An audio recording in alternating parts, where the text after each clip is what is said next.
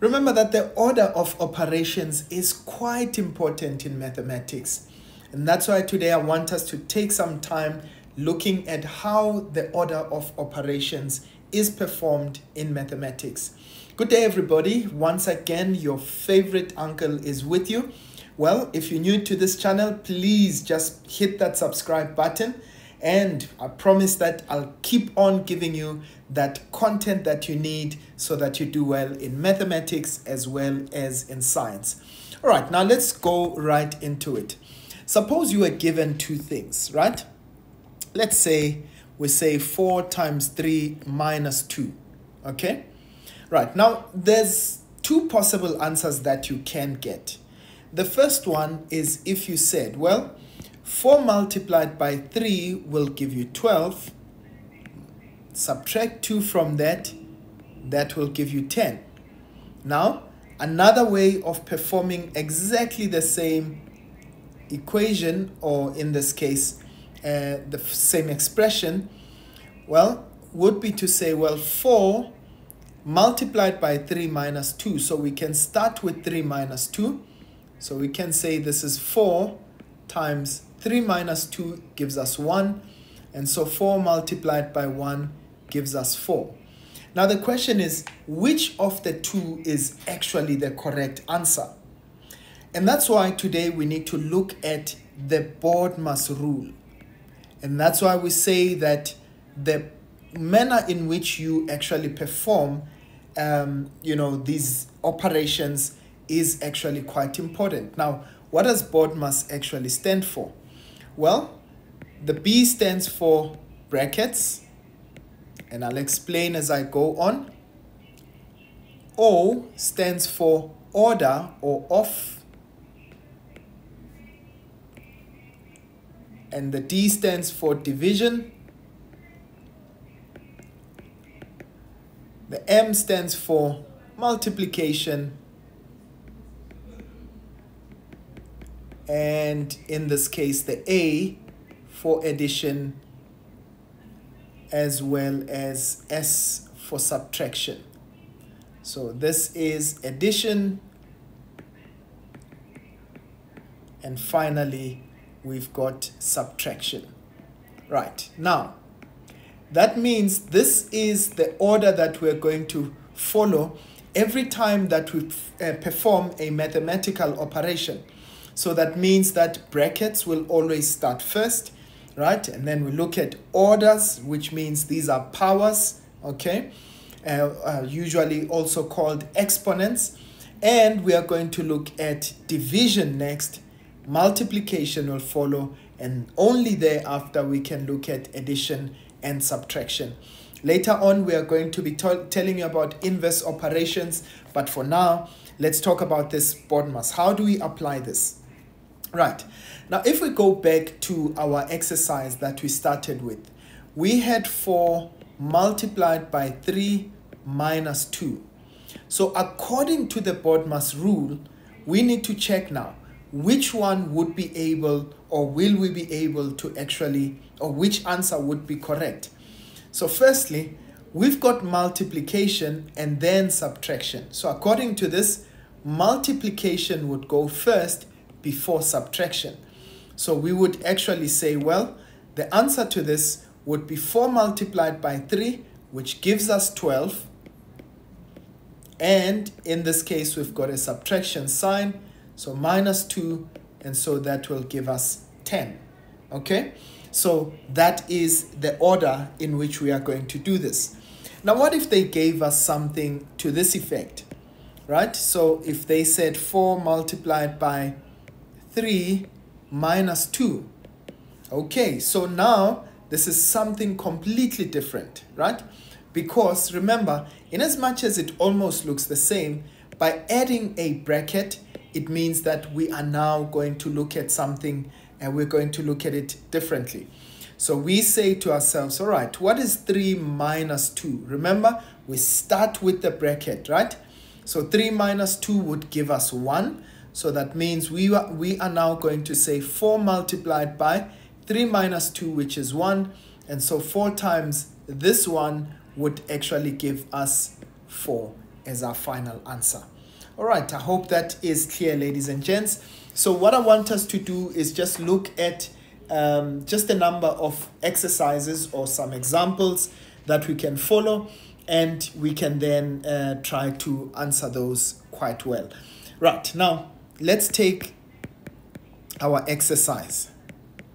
And I want you to actually try out the exercises first before you look at my solution.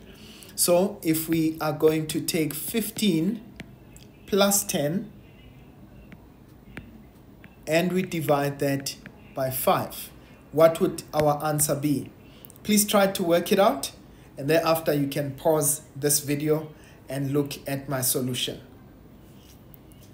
Right, now let's look at the solution. So this is 15 plus 10. This is inside our bracket, right? So that means I am going to start with the bracket and only thereafter start looking at the division sign. So inside our bracket, we've got 15 plus 10. That would give us 25. So that means we've got 25 divided by 5. And in this case, if we take 25 divided by 5, that will definitely give us 5 as our final answer. Right, now let's take another one. Okay, so if we say 2 multiplied by 12, divide by 3 plus 1. Okay, please pause the video, right? Try to work it out and then tell us what your answer is. Right, now for our answer, where do we start? Remember, brackets, order, division, multiplication, and only thereafter uh, addition and subtraction, right? So now here it is, I've got division and I can follow with multiplication thereafter. So I'm going to leave the 2. If I divide, 12 divided by 3 gives us 4 plus 1. So which one comes next? So now I'm going to say 2 multiplied by 4. Remember, it's multiplication before addition. So 2 multiplied by 4 would give me 8. And 8 plus 1 gives me 9. All right, I hope that you are able to follow, right? Please, if you got this correct, uh, just shout even on the comment section. Right, so what if we've got something to the effect of 2 multiplied by 12 divided by 3 plus 1. Now it almost looks like the same exercise, isn't it? Right, so we've got the same numbers, but in this case, remember, by virtue of having brackets, it means that the order will be different this time around. Now we start with the brackets. So 3 plus 1 gives us 4, right? So we've got 2 multiplied by 12 divided by 4. Okay? So now remember we are multiplying, right? We are dividing rather, it's BODMAS. So in this case we are dividing before we multiply. So 12 divided by 4 gives us 3, right? So we've got 2 multiplied by 3, right? 12 divided by 4 gives us 3. And so 2 times 3 gives us 6. So that's our final answer. All right, now let's continue very quickly. Um, so I'm just going to do two more. And obviously, I'm going to leave out some just for you to try and work them out on your own.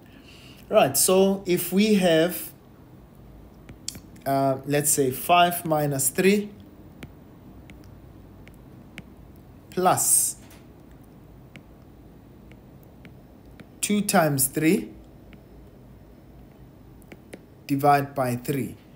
Right, so what would be our final answer there? All right, so we start with the brackets. Okay, so inside our brackets, we've got 4 minus 3, I mean uh, 5 minus 3 which gives us 2 plus. Uh, 2 times 3 gives us 6 6 divided by 3 so now we've sorted out our brackets and in this case we can now uh, follow with division, right? So this will be 6 divided by 3 gives us 2 and in this case we've got 2 plus 6 divided by 3 gives us 2 and so this will equal to 4 all right and finally we're taking just one last one.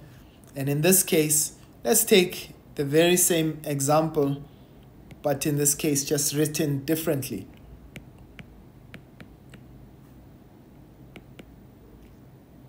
Right so 5 minus 3 plus 2 times 3 divided by 3 right so according to the BODMAS rule that's brackets of division so we are going to start with division. So firstly, we've got 3 divided by 3. And so that's 5 minus 3 plus 2 times 3 divided by 3 gives us 1. Okay. And so then multiplication follows. 2 times 1 gives us 2. And finally, in this case. So we know that now we've got uh, just uh, uh, addition and subtraction. So remember, we say brackets of division, multiplication, addition, and subtraction. So in this case, we can add those two together. So that gives us, um, that's 3, uh, 3 plus 2 gives us 5. So this is 5 minus 5 and so that gives us 0 okay right please note ladies and gents that is how we go about you know answering those questions. Of course I'd love for you to try out these examples for yourself. And please let me know on the comment section what did you get for your final answer